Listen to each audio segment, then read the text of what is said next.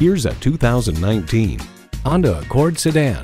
Honda's flagship car isn't just a vehicle, it's a legacy. It comes with the features you need and better yet, want.